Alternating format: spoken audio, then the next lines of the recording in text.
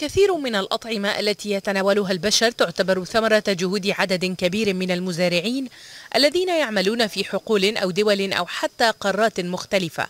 والمستهلكون في الغالب يشترون هذه الأطعمة من المتاجر دون التفكير في مصادرها.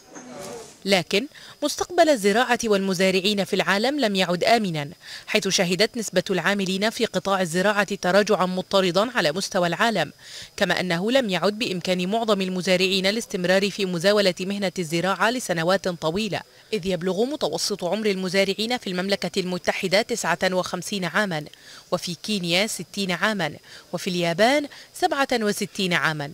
وعندما يتقاعد هؤلاء قد لا يجد العالم من يحل محلهم في زراعة المحاصيل نظرا لعزوف الشباب عن العمل بالزراعة وتفضيلهم العمل في المدن.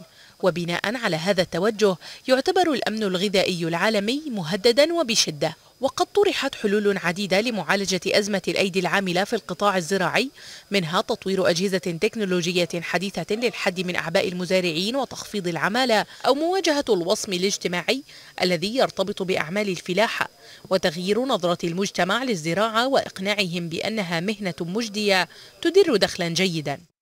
ورغم المخاوف لا يزال القطاع الزراعي أكبر قطاع تشغيل حول العالم حيث يوفر سبل العيش لما يقارب 40% من سكان العالم في الوقت الحالي إضافة إلى أن المزارع الصغيرة حول العالم والتي يبلغ تعدادها نحو 500 مليون مزرعة توفر ما يصل إلى 80% من المواد الغذائية للسكان.